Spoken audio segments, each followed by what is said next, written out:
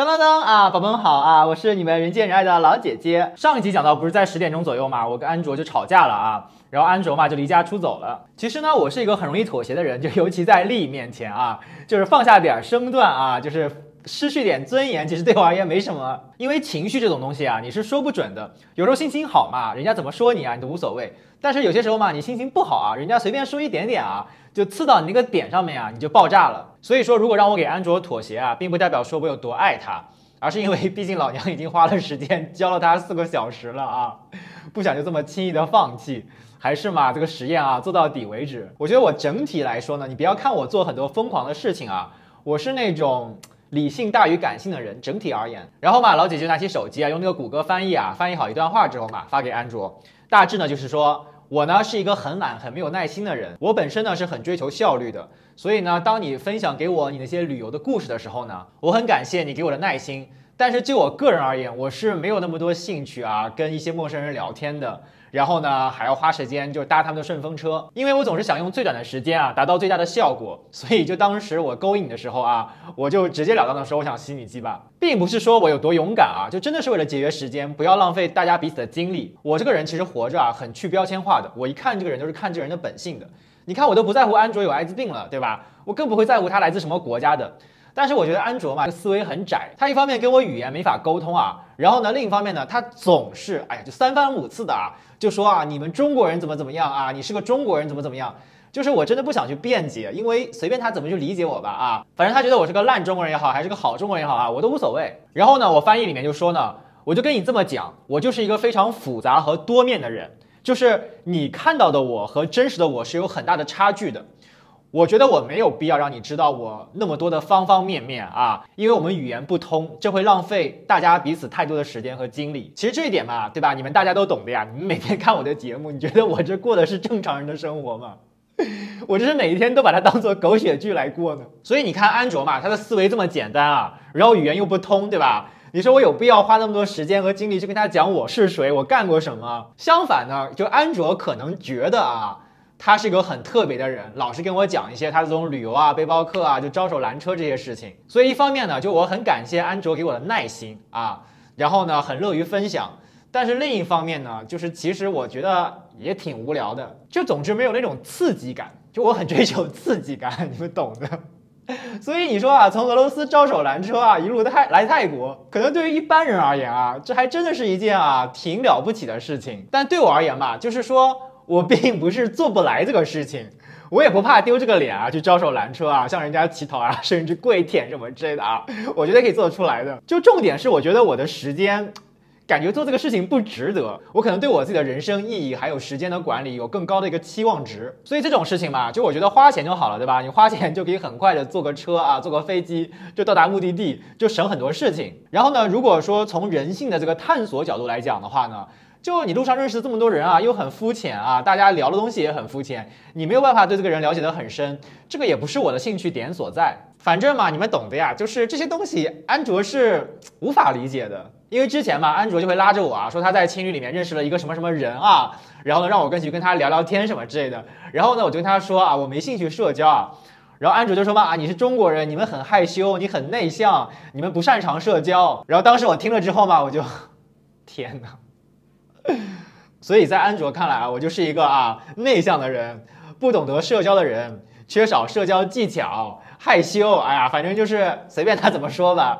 然后呢，我发了第二条消息啊，我就说，哎呀，你也不要想那么多。我就说，不论你怎么认为我的啊，就是总归嘛，你赶快学好英文啊，这样子的话呢，你就好去下一个地方了。你英语学好了，是不是更容易搭顺风车啊？是不是更容易找到啊这个免费住的地方啊？结交更多的朋友？你们看啊，这个就是社交中的话术啊。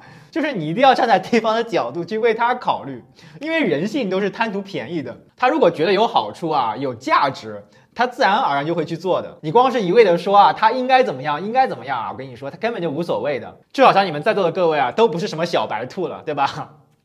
虽然谈不上老奸巨猾，但是起码都是挺聪明的人，对不对啊？你们也谈过这么多恋爱，你们觉得你们分手了，对吧？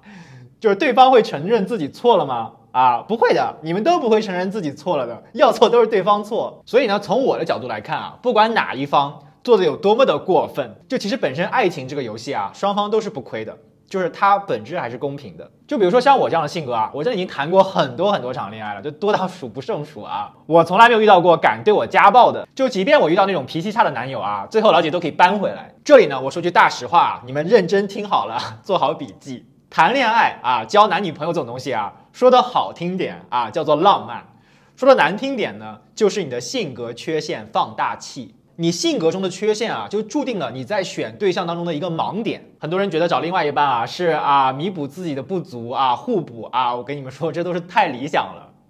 其实一般情况下呢，你找的对象呢，就是人间地狱。我打个比方啊，一个女的，她如果有性格缺陷啊，比较软弱。那么呢，他顶多在公司啊会吃点小亏，受一点点小欺负，但是工资啊还是照发的，起码同事啊、老板啊还会维持一个表面上的体面，就不会出现那种极度的不公、极度的委曲求全。但是呢，啊，这个性格软弱的女人啊，一旦找了个老公啊，人性呢就是爱捏软柿子的，她的软弱反而会增加对方家暴她的气焰。尤其生活在一个屋檐下，连那种表面的那种功夫啊，人都会懒得去做了。所以呢，跟这种人生活在一起啊，他就是把你当出气筒。你越软弱，你就越被欺负，你就越倒霉，就越没有出头日。再说个例子，如果本身你就爱嫉妒啊，你谈了恋爱之后呢，你的这个嫉妒心理啊，就会扩张十倍啊，甚至一百倍。如果你本身爱拖延啊，你找了另外一半之后呢，就是啊，一个和尚有水喝啊。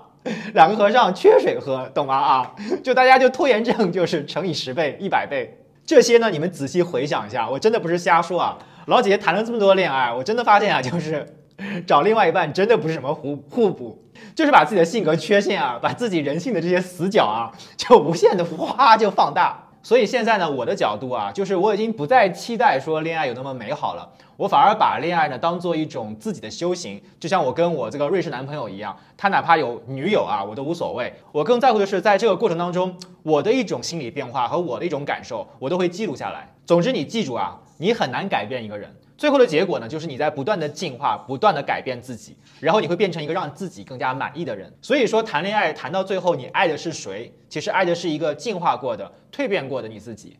言归正传啊，安卓不是看到我的消息嘛，觉得我比较妥协啊，也道歉了啊，然后讲话嘛也比较有条理啊，安卓嘛就屁颠屁颠回来了。回来之后嘛，老姐姐啊，先把安卓吸了两发，让安卓啊体力不支，作为一种变相的惩罚啊，安卓嘛就气喘吁吁的啊趴在床上面。然后老姐姐嘛，看着这个德性啊，也是一副啊这种恨铁不成钢的感觉。然后老姐姐就趴在他身上啊，也在摩擦啊，摩擦了一阵之后呢，我还用牙齿啊咬他的后背。这里呢，我也承认啊，我就是个变态啊，我就喜欢在这种危险的试探当中啊，找到一种性的刺激和快感。我就把安卓的后背啊死命的咬啊，我就看他表情的变化。然后果然嘛，是俄罗斯这种战斗民族啊，就特别能忍啊。我那么用力了啊，然后安卓嘛都是那种咬紧牙关啊，一声不吭。它越不叫嘛，我就咬得越用力啊。然后嘛，老姐那种感觉来之后嘛，我也就硬了。然后呢啊，我们也没有做任何的保护措施啊，老姐就把 安卓给插了。然后搞了十分钟嘛啊，老姐姐就把安卓给 内射了。然后呢，我把这个牙齿啊从这个安卓的后背啊移开啊，就后面已经被我咬的都是那种血红印子啊，都渗血了。哎呀，好啦，我知道我是个变态啊，我承认。但是老姐也是一个啊诚实的变态啊，反正这么搞过之后嘛啊，老姐姐这个欲望啊和这个愤怒啊都得到了宣泄，给你们看一下啊，老姐姐咬了这个牙印儿。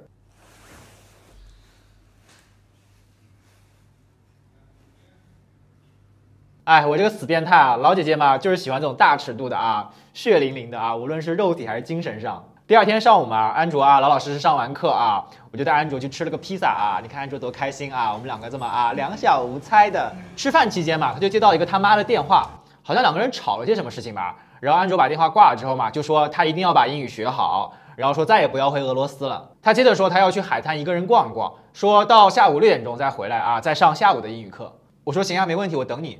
后来嘛，我就回到青旅啊，等到他六点钟，我就给他发消息，我说你在干嘛？他说他还在海边看海。我说你要回来上课吗？然后嘛就再也没有消息了。到了晚上九点钟嘛，他就屁颠儿屁颠儿回来了。然后我就说嘛，你说好六点钟要回来上课的啊，你就算不回来你也吱个声呀。但是你不回我消息什么意思？接着呢，他脾气又上来了。他说啊，你们中国人就是喜欢控制别人，我不回来是我的自由，你不要尝试控制我。我们欧洲人是很喜欢自由的。然后我一听嘛，当时觉得妈的怎么有这么个傻逼啊，就是气不打一处来。我说你滚滚滚啊，赶紧滚啊，从我面前消失啊！赶快搬走我这个地方，然后嘛，安卓嘛就绷了一张脸啊，开始收拾行李。然后我躺在床上面呢，就假装在玩手机啊，其实我在偷偷的拍他。他整理好行李之后嘛，准备要走，我说，哎，停一下啊，你身上的衣服裤子都是我的，脱下来。然后嘛，他就啊，都脱下来之后呢，换上他原来的衣服啊，然后把衣服裤子呢，啪的一声甩在我床上面啊，门再是这么一个嘣一摔啊，人就走了。他走了之后呢，我在房间里面还是挺难过的，就觉得我对他也不薄啊，对吧？然后我也没有对他有偏见，但是我觉得他对我的态度，还有他这些行为，就感觉，就让我觉得这种吃力不讨好，我就觉得自己怎么这么贱呢啊？就感觉挺受伤的，挺伤心的。虽然我跟安卓嘛，虽然我跟安卓嘛认识没几天，但是那种感觉在一起啊。大家就像谈恋爱一样啊，我也承认我是爱他的。就在我的字典里面啊，就是爱和喜欢，我是分得很清楚的。你说你跟一个人又上了床，对吧？又卿卿我我的，然后又一起干了一些事情，这个东西你跟朋友之间是不会做的，对吧？所以我跟朋友之间那个叫喜欢。但是呢，我承认，我也就是不去否定，我跟安卓之间这东西就是爱情。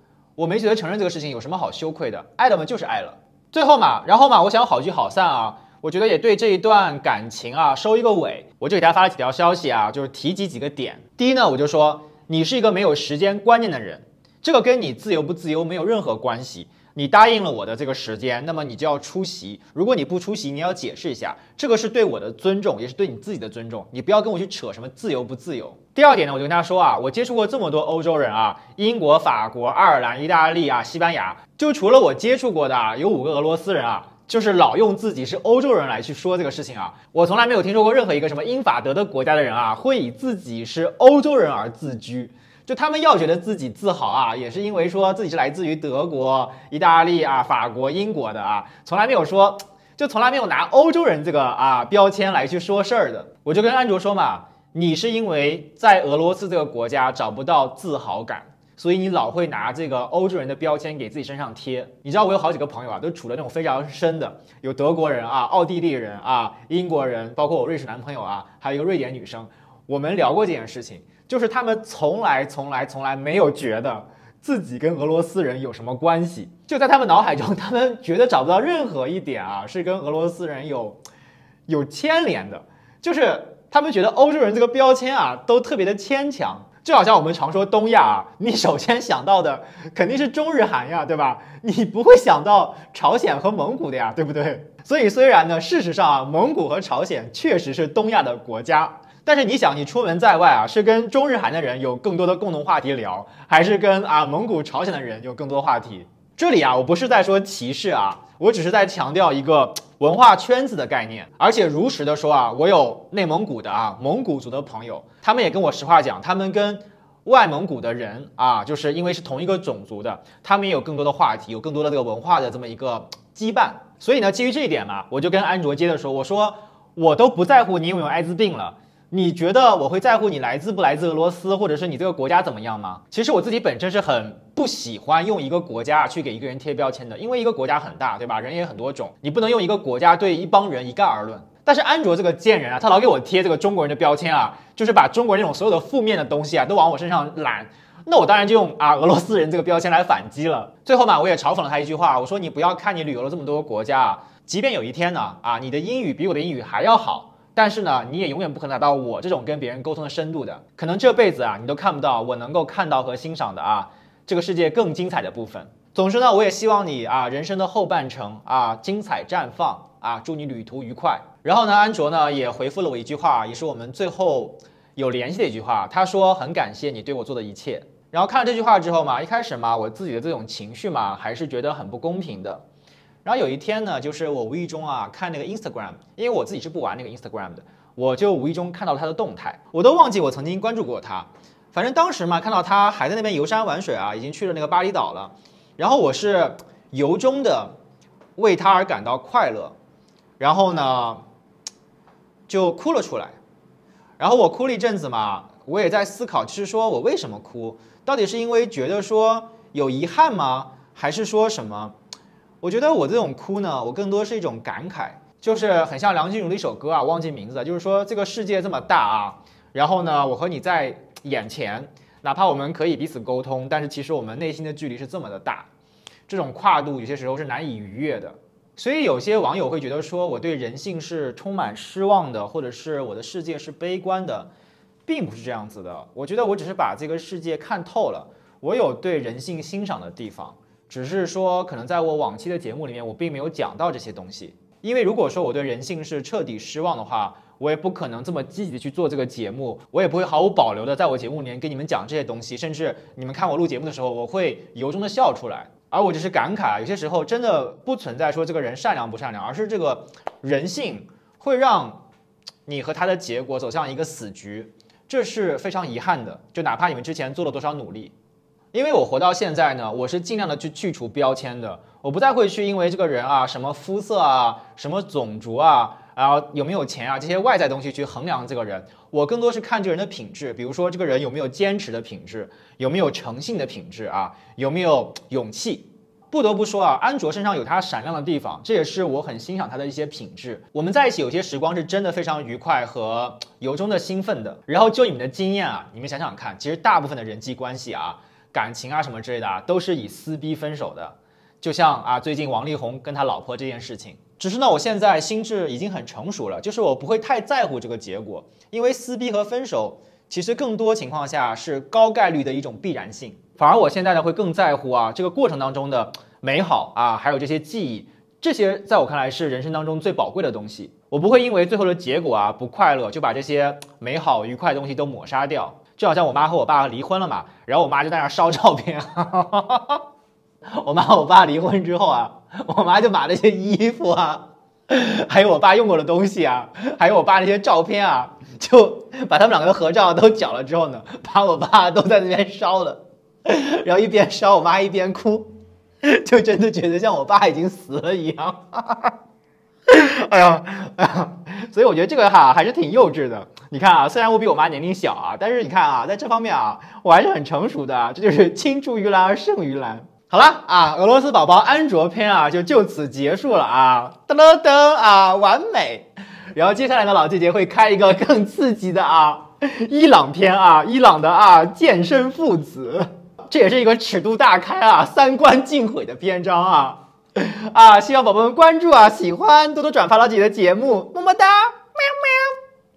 喵喵喵喵。喵，看这个小臭，嗯，两个臭蛋。喵喵。